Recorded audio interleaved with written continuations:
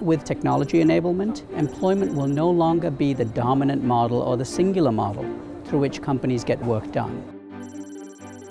We see job opportunities in the freelance and gig economies in roles that you wouldn't have been able to previously see 15, 20 years ago. Anything from marketing to executive roles to medical. The workplace has become somewhat borderless. We are no longer constrained by the walls of an office. We can work at any time, anywhere. Tied to that is also the globalization and equalization opportunities that that kind of workforce can allow. How much better would it be for me to leverage a platform to access the world's best talent, regardless of where that talent is, where the work is and when I need to get that work done. Younger people are asking for more flexibility. Companies that are able to provide that flexibility will be more successful at attracting top talent. There's really no need why you should be looking only at you know, the 10 mile radius that traditional companies were looking at. The benefits of what digitization have allowed for the workplace can also be a downfall if you don't manage it properly. And that means both the employee managing it and the employer. I emphasize to people to really make sure they have clear boundaries for themselves. And they do turn off and they're fairly honest with themselves so they don't let it creep into their lives and be nonstop.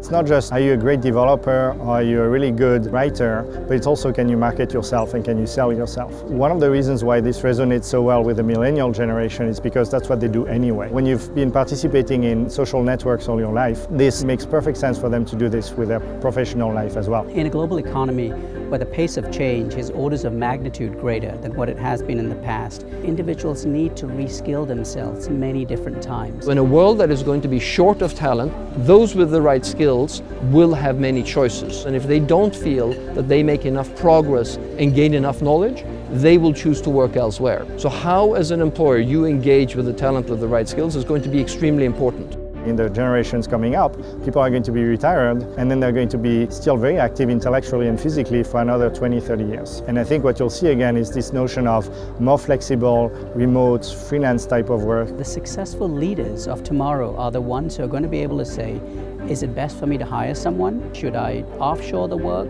Should I use a platform like a Topcoder?